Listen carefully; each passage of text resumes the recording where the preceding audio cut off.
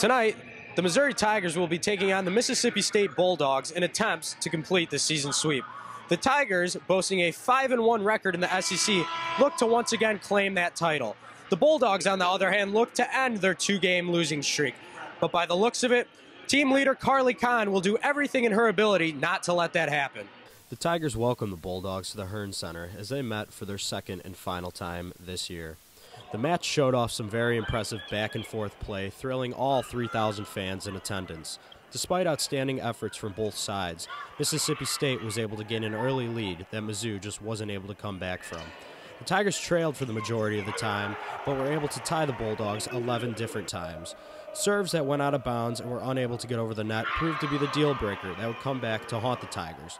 It took extras after neither were able to gain a two point lead, but the Bulldogs capitalized, taking the first set 30 to 28.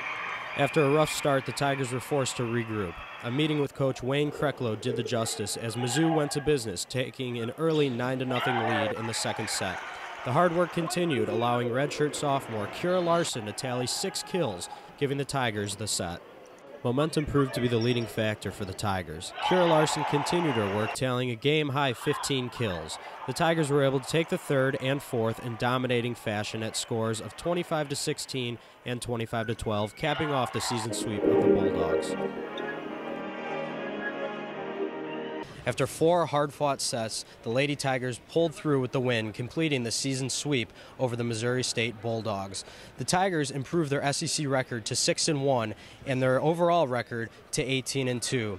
Tune in next Saturday as the Lady Tigers take on the Florida Gators. Reporting from the Hearn Center, this is Kyle Clement, 23 Sports.